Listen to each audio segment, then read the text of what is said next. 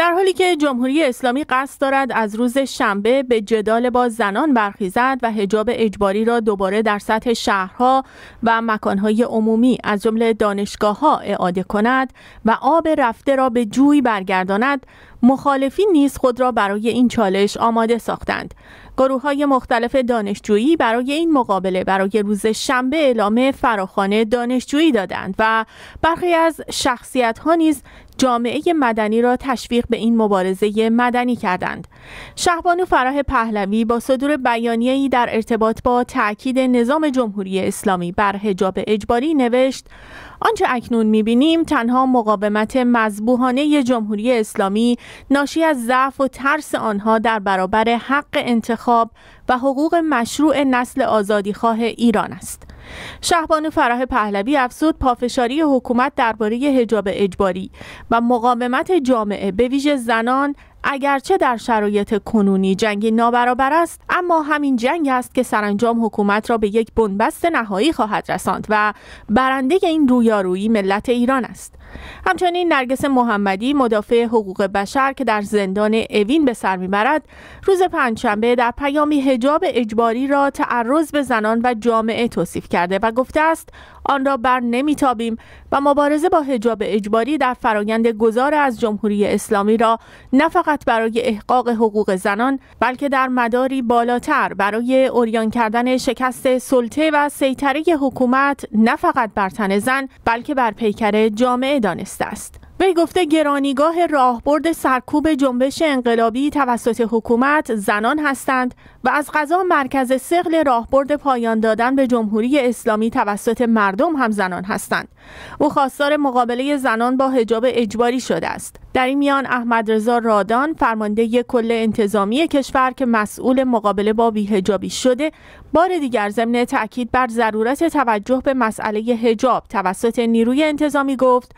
رویکرد نیروی انتظامی در این زمینه بر اساس قانون و دقدقه های مردم است. به ضمن اشاره به حکم علی خامنه ای درباره وی که او را به فرماندهی نیروی انتظامی کشور منصوب کرده گفت در حکم ابلاغی به وی به مسائلی اساسی از جنس خدمت، امنیت، شن و آموزش اشاره شده است. فرمانده نیروی انتظامی در خصوص رویکرد فراجا نسبت به اشخاص بدهجاب گفت رویکرد نیروی انتظامی نسبت به این موضوع دو نگاه است یکی اینکه قانون چه می‌گوید و اینکه به اصل قانون احترام گذاشته شود و نکته دوم اینکه این موضوع دغدغه مردم است رادان در ادامه گفت اعتقاد نیروی انتظامی این است که تعداد اندک افراد بدپوشش هم زنان و دختران کشور هستند که ممکن است قفلت کرده باشند. وی در این حال گفت البته ممکن است درصد اندکی آمدانه باشد اما سایر آن قفلت است. به تصریح کرد نیروی انتظامی بدپوشی را از طریق پیامک ارسال می کند و اگر مخاطب نظرش این باشد که پیامک اشتباه است نیروی انتظامی به نظر او احترام می‌گذارد و میپذیرد که نظر مخاطب درست است. به افزود اگر فردی اعلام کند این پیامک اشتباه ارسال شده نیروی انتظامی در مرحله اول آن را میپذیرد. اما اگر تکرار شد مشخص است که قفلتی صورت گرفته. به نظر می رسد که سردار رادان در اظهارات پیشین خود در این خصوص که افراد بیهجاب را مورد تعقیب قضایی قرار خواهند داد بازنگری کرده و آن را تا حدودی تلطیف کرده است. رادان پیش از این گفته بود که افراد بیهجاب به محاکم قضایی معرفی و با آنها برخورد قضایی صورت خواهد گرفت. اظهارات وی با واکنش های تندی از طرف گروه های مختلف اجتماعی مواجه شد. حقوقدانان تعقیب قضایی به واسطه حجاب را غیرقانونی خواندند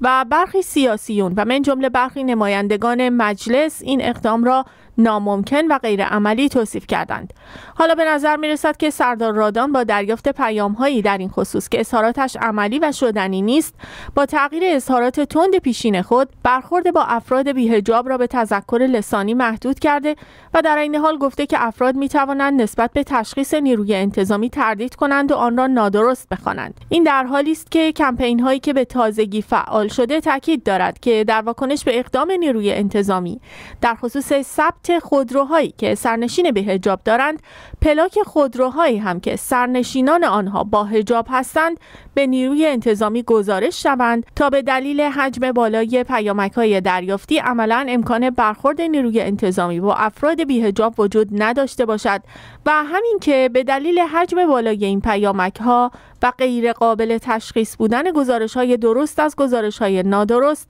عملا گزارش های دریافتی در این خصوص مخدوش شوند و امکان رسیدگی به آنها برای نیروی انتظامی وجود نداشته باشد.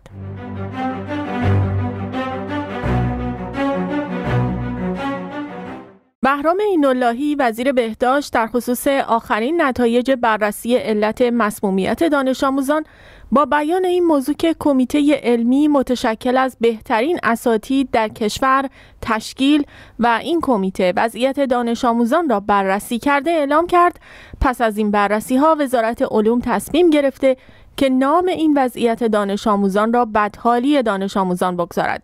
به گفت هیچ شواهد محکمی برای مسمومیت دانش آموزان وجود ندارد. عین اللهی در ادامه گفت در هر بیماری یک مسئله مربوط به وضعیت بیماری فرد است و بخش دیگر به آثار روانی ناشی از بیماری مربوط می شود. او مدعی شد در دانش آموزان این وضعیت دوم مشاهده شده است. وزیر بهداشت همچنین در ادامه تصریح کرد جمعبندی های وزارت علوم نشان می دهد که در بیش از 90 درصد موارد بدحالی دانش آموزان هیچ نوع مسمومیتی دیده نشده و هیچ نوع سمی وجود ندارد وی گفت بیشتر موارد ناشی از استرس دانش آموزان بود. این اللهی افسود درصد کمی از موارد هم به شیطنت هایی مربوط می شد که صورت گرفت و باعث بدحالی دانش آموزان شده بود. اینکه در یک فضای ناامن روانی دانش آموزان یا حتی افراد بزرگسال در اثر مشاهده مشکلات جسمی برای دیگران احساس کنند که آنها هم دچار مشکل جسمی شدند کاملا طبیعی است اما با این حال نمی‌توان بدحالی ناشی از مسمومیت را که بسیاری از کارشناسان بر آن صحه گذاشتند حتی اگر تعداد آن کم باشد بدحالی دانش آموزان نامید و به راحتی مسئله مسمومیت را از تشخیص درمانی و در گزارش حذف کرد.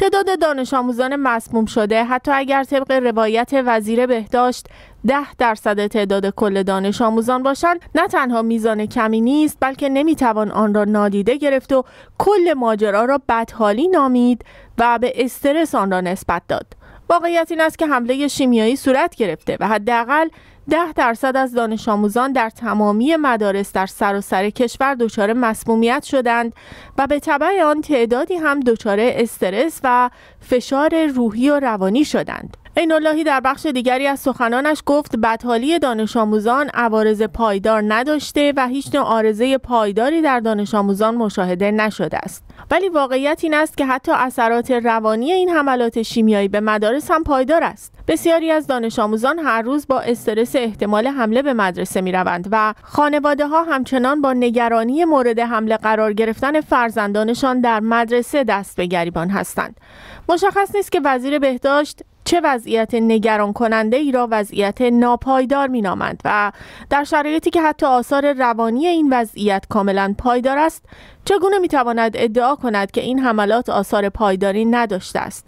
سالهاست که جمهوری اسلامی تنها مرگ را پیامد قابل مشاهده مشکلات می داند و غیر از مرگ هر اتفاقی که در اثر ناامنی و سوء حکمرانی رخ می دهد عوارض ناپایدار و گذرا عنوان می کند و آن را جدی نمی داند. هدف این گزارش در نهایت مخفی کردن نقش تندروهایی است که آمدانه با این اقدام و مسموم سازی دختران قصد ایجاد حراس در طبقه متوسط و نیز هشداری در مورد اقدامات آنها در مورد مقابله با مسئله حجاب خانم هاست. جناح تندرو در مشهد به رهبری علم الهدا قبلا نیز از این اقدامات در موارد دیگر انجام داده بود خود وزیر بهداشت هم مورد حمایت جلیلی و جبهه پایداری قرار داشت که به این سمت منصوب شد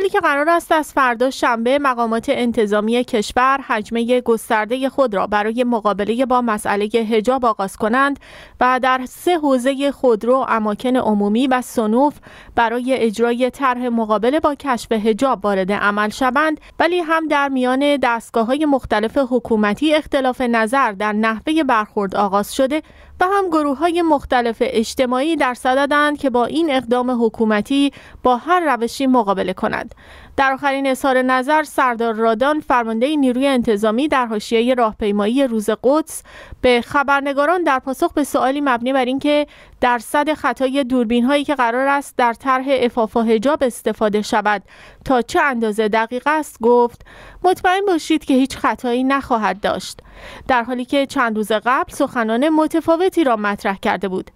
در این میان نظرات یک عضو تندرو مجلس متعلق به جبهه پایداری نظرات همه را به خود جلب کرد. موسا قزم فرابادی رئیس کمیسیون قضایی مجلس در یک موزگیری فاشیستی که عمق نظرات بخش اصلی روحانیت حاکم را در مورد هجاب باستاب می‌دهد در رابطه با برخورد با افرادی که هجاب را رعایت نمی کنند گفت نیازی نیست پرونده کسی که کشف هجاب می کند به دادگاه فرستاده شود. باید خدمات کارت ملی قطع شود و بیهجاب را باید نقره داغ کرد. به افزود برخی می‌گویند برای اجرای طرح مقابله با بیهجابی نیروهای انسانی زیادی باید به کار گرفته شود و این هزینه بر است در حالی که اگر بحث ناظر مد نظر قرار بگیرد خیلی از افراد مؤمن و متدین می توانند پای کار بیایند و حتی یک خبرنگار هم می تواند با استفاده از نرم افزار ناظر به وظیفه خود عمل کند به گفته وی بیهجاب باید پول تخلفش را پرداخت کند و مطمئنا هرچه بیشتر مقاومت کند باید پول بیشتری بدهد و ادامه این روند او را نقره داغ می کند. در این میان سکین سادات پاد دستیار رئیس جمهوری در پیگیری حقوق و آزادی های اجتماعی نوشت منع خدمات اجتماعی مقایر اصول 19 و 20 قانون اساسی خلاف عدالت و مستاق بارز کار بیقاعده است و نمی‌توان هنجار شکنی را با تصمیمات غیرقانونی، غیر اسلامی و غیر اقلانی مهار کرد. به افزود برنامه های قاعدمند و شنیدن سخنان قانونگریزان از عناصر اقلانیت مدیریت علوی می باشد. همه بی استثنا باید به قانون تمکین کنیم. هفته پیش علی خامنه ای رهبر جمهوری اسلامی سرباز زدن از حجاب اجباری را حرام شرعی و حرام سیاسی خوانده بود و عملا دستور مقابله با بیهجابی را کلید زد و ساعت صفر نیروی انتظامی و قوه قضایی از فردا برای مقابله با حجاب آغاز خواهد شد. اما در این میان و در تحول دیگر مجله معتبر تایم صد چهره تاثیرگذار سال را معرفی کرد و نام سه ایرانی در فهرست تاثیرگذاران این مجله قرار دارند شروین حاجی پور خواننده ترانه برایه نیلوفر حامدی و اله محمدی روزنامه نگارانی که جزئیات چگونگی مرگ و مراسم تدفین محسا امینی را پوشش دادند. اکنون دویست روز است که در بازداشتند و در فهرست مجله تایم قرار گرفتند.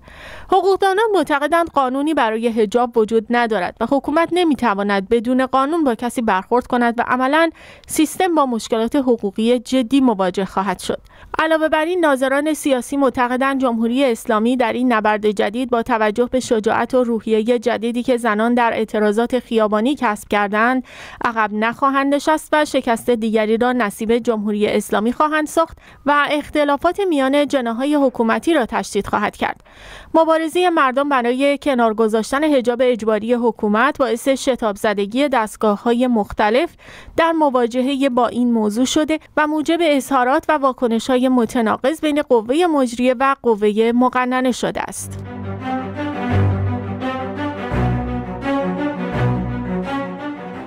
جمهوری اسلامی ایران در خصوص وضعیت خودرو در بازار همچنان سردرگم و مشوش است و همچنان سیاستی برای کنترل وضعیت بازار اتخاذ نکرده است. ضمن اینکه به نظر می رسد که از وضع آشفته بازار کاملا سود می‌برد و به نظر نمی رسد که به طور جدی برنامه‌ای برای بهبود وضعیت بازار خودرو که در اولین کار سود دولت و شرکت های خودروسازی را متوقف می کند در دستور کار داشته باشد. بسیاری از گزارش ها حاکی از ضعف دولت در کنترل بازار خودروست و تاکید دارند که در صورت رفع موانع واردات هم که وزیر وعده آن را داده بعید است که بازار خودرو سامانمند شود. بنابر گزارش ها مبدع اصلی واردات خودرو کشور چین خواهد بود و رفع موانع تأثیری بر حضور خودروهای با کیفیت جهانی با قیمت مناسب در ایران و بازار خودروی ایران نخواهد داشت و خرید و فروش خودروهای کم کیفیت در ایران به عنوان کالاهای سرمایه‌ای همچنان ادامه خواهد یافت. فیروز نادری کارشناس صنعت خودرو وضعیت فعلی بازار خودرو را نتیجه دخالت دولت در بازار دانسته و تاکید کرده که همین که دولت با واردات خودروهای دست دوم و خودروهای نو مخالفت می کند دلیل بزرگ وضعیت فعلی است. وی با بیان این موضوع که هر خانه ای حداقل دو یا سه خودرو لازم دارد گفته بازار خودرو حدود 60 درصد از نیاز واقعی بازار کم دارد که این میزان می تواند با واردات خودروهای دست دوم خارجی جبران شود.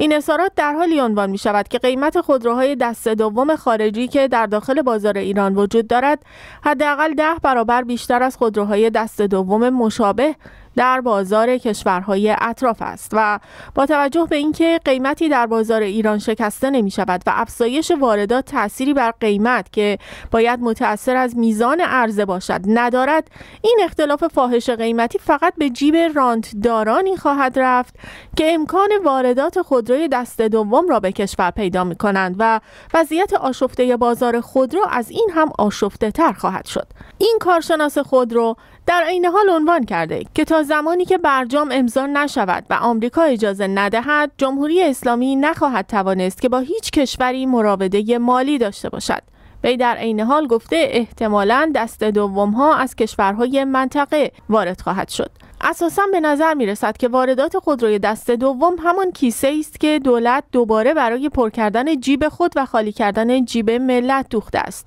دولت ماشین های سال 2015 و قبل از آن را به یک دهم قیمت داخلی آن وارد می کند و آن را با چندین برابر قیمت به مردم می فروشد و در حالی که 90 درصد از واردات خودرو سود کرده با کاهش 5 تا 10 درصدی قیمت خودروهای دست دوم منت کاهش قیمت را هم سر مردم خواهد گذاشت. این در حالی است که دولت پولهای 500 میلیونی بابت پیشخرید فروش خودروهای نو را از مردم دریافت کرده است. ماشین در ایران تبدیل به یک کالای سرمایه‌ای شده و سودآور بودن بالای آن موجب می شود که تقاضا برای آن همیشه در بازار ایران وجود دارد. تنها با تولید بالا و ارائه خودرو با شرایط مناسب به مردم است که می توان این رانت را شکست.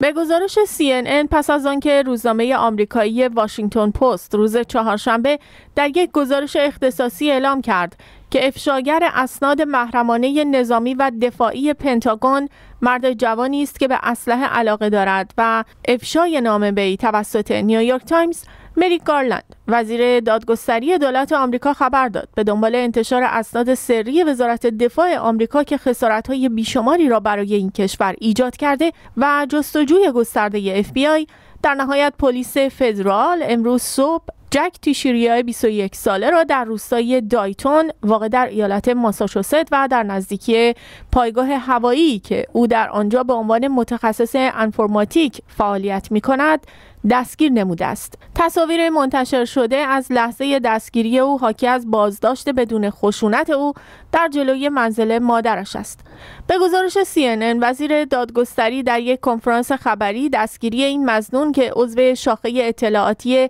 گارد ملی هوایی آمریکاست را تایید کرد. به گفته او جک تکریسیا به اتهام درز اطلاعات نظامی محرمانه امروز جمعه 14 آوریل در دادگاهی در شهر بوستون حاضر خواهد شد. درز اطلاعات محرمانه که از جمله جزئیات دیدگاه های واشنگتن درباره جنگ اوکراین را فاش کرده نشان دهنده جمعآوری اطلاعات از متحدان نزدیک واشنگتن است. موضوعی که پنتاگون از آن به عنوان خطری بسیار بالا برای امنیت ملی کشور یاد کرده است. بخش دیگری از این اسناد محرمانه که در شبکه های اجتماعی منتشر شده از چشمانداز تیره جنگ در اوکراین پرده برداشته است. با وجود این سرگئی ریابکوف معاون وزیر امور خارجه روسیه پیشتر اعلام کرد که اسناد منتشر شده ممکن است جعلی باشد. در مورد ایران هم اسنادی درباره فعالیت‌های هسته‌ای ایران منتشر شده. انتشار این اسناد می تواند منابع خبری پنتاگون در کشورهای مختلف را مورد تهدید قرار دهد.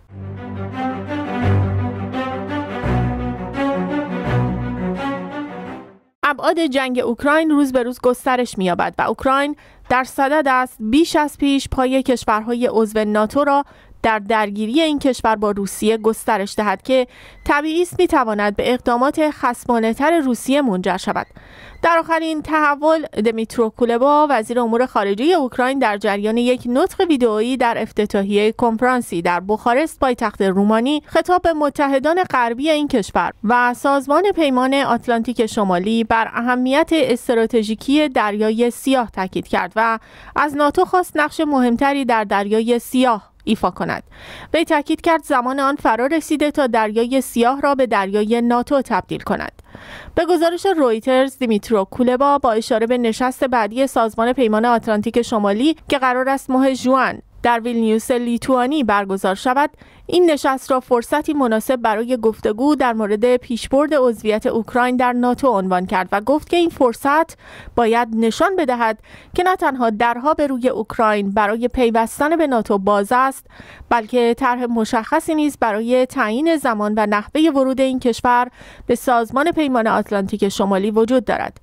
این تقاضا در حالی مطرح شده که جنگ در مناطق شرقی اوکراین همچنان ادامه دارد و مناطق ساحلی دریای سیاه در اوکراین در یک سال گذشته صحنه جنگ میان نیروهای ارتش دو کشور بود. دیمیتری پسکوف سخنگوی کرملین در واکنش به اظهارات وزیر امور خارجه اوکراین در پاسخ به این تقاضا اعلام کرد که دریای سیاه هرگز نمی‌تواند به دریای ناتو تبدیل شود. به با تاکید بر همکاری و تعامل افزود که دریای سیاه یک دریای مشترک برای همه کشورهای ساحلی این منطقه است و موضوع تأمین امنیت آن نیز نمی‌تواند تجزیه شود. اما در تحولی دیگر دولت نروژ که عضو ناتو است و دارای مرزی با طول 819 کیلومتر با روسیه است روز پنجشنبه در بیانیه اعلام کرد 15 دیپلمات روس که مزنون به جاسوسی از طریق کار در سفارت روسیه در اسلو هستند را از این کشور اخراج می کند چرا که این افراد در اصل افسران مخفی اطلاعات روسیه هستند که تحت پوشش دیپلمات فعالیت می کردند. آنیکن هویتفلد وزیر امور خارجه نروژ این اقدام را گامی مهم برای کاهش دامنه فعالیت‌های اطلاعاتی روسیه در نروژ و در نتیجه تأمین منافع ملی این کشور دانسته و اعلام کرد که های مذکور باید ظرف مدت کوتاهی نروژ را ترک کنند.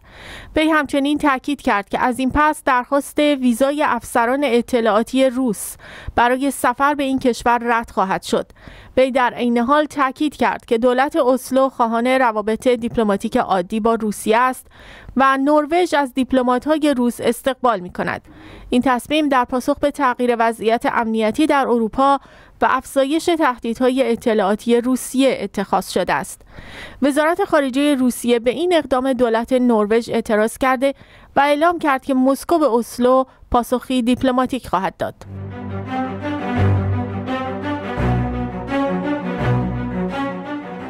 به گزارش رویترز و CNN کره جنوبی و ژاپن اعلام کردند که کره شمالی امروز پنجشنبه مدل جدیدی از یک موشک بالستیک به سمت جزیره هوکایدو در ژاپن شلیک کرد و این باعث شد تا ساکنان این جزیره در معرض خطر قرار گیرند. مقامات ژاپنی پس از آن هشدار خود را پس گرفته و اعلام کردند یک سیستم هشدار اضطراری اشتباها پیش بینی کرده که این موشک در نزدیکی آن جزیره سقوط خواهد کرد. گارد ساحلی ژاپن اعلام کرد به نظر می رسد که این موشک در دریای شرق کره شمالی سقوط کرده است. این پرتاب چند روز پس از آنکه کیم جونگ اون رهبر کره شمالی برای مقابله با اقدامات تجاوزکارانه ایالات متحده خواستار تقویت قدرت بازدارندگی جنگی این کشور به شیوه عملیتر و تهاجمیتر شد صورت گرفت. در این میان کاخ سفید با انتشار بیانیه پرتاب موشک کره شمالی را نقض وقیحانه قطعنامه های متعدد شورای امنیت سازمان ملل توصیف کرد و گفت این اقدام بیمورد تنشها را افزایش می دهد و خطر بی کردن اوضاع امنیتی در منطقه را به دنبال دارد.